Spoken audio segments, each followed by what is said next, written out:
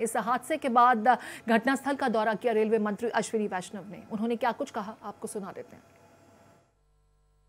बड़ी tragic accident है ये और सभी दिवंगत आत्माओं के साथ हमारी प्रार्थना है। कल रात से कंटिन्यूसली रेलवे एनडीआरएफ एसडीआरएफ और राज्य सरकार सभी मिलके रेस्क्यू का ऑपरेशन कर रहे हैं। कंप्लीट मोबिलाइजेशन किया गया है, बालेश, इधर बालेश्वर की तरफ़ से, उधर भुवनेश्वर की तरफ़ से कंप्लीट मोबिलाइजेशन किया है टाटानगर से सब जगह से मोबिलाइजेशन किया है, ताकि मैक्सिमम इस तरह की, इस तरह की बड़ी ट्रेजेडी में जितना एफर्ट लगाया जाए, उतना कम होता है। सभी, उन सभी उन सभी परिवारों, उन सभी परिवारों के साथ मेरी प्रार्थना है, जिनके परिवार का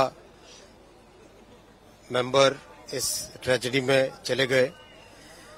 और सभी जहाँ पर भी best possible health care facility होगी, चाहे कटक में, भुवनेश्वर में, एम्स में, इधर कैलकाटा में, कहीं पर भी जो best possible health health facility होगी, वो दी जाएगी।